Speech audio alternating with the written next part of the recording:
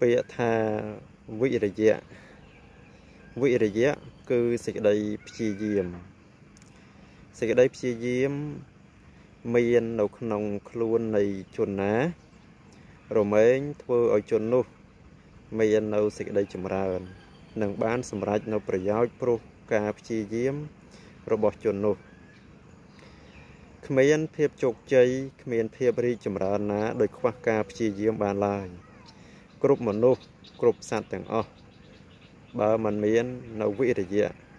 มันមានសេចក្តីព្យាយាមទេកុំសង្ឃឹមថាជីវិតនេះរស់បានដោយសេចក្តីសុខកុំសង្ឃឹមថាជីវិតនេះបានស្រួលដោយការមិនព្យាយាមនោះ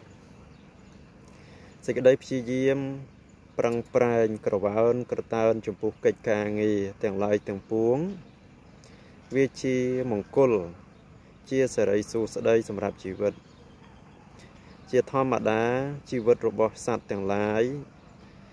មានការរស់នៅដោយសភាពលំបាកជាទីបំផុត បើมันមានការប្រឹងប្រែងដើម្បីរស់มันមានការប្រឹងប្រែងដើម្បីបាននៅអ្វីដែល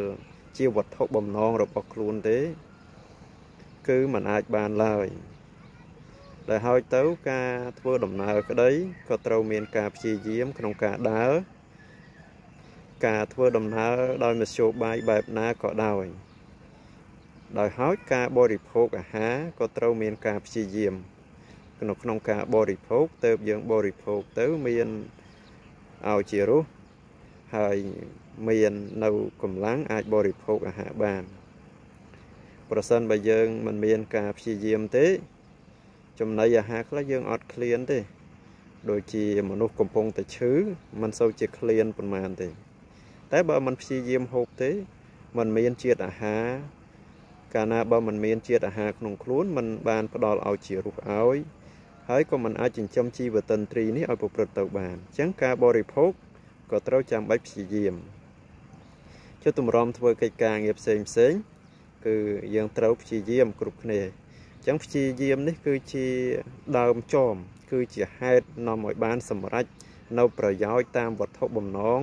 តាមទិសដៅរបស់មនុស្សគ្រប់រូបមនុស្សគ្រប់រូបដែលចង់បានសម្រេចជោគជ័យសម្រេចតាមវត្ថុបំណងគឺត្រូវមានព្យាយាម បើខ្វះព្យាយាមកុំទៀមទីរោគភាពជោគជ័យអសោះ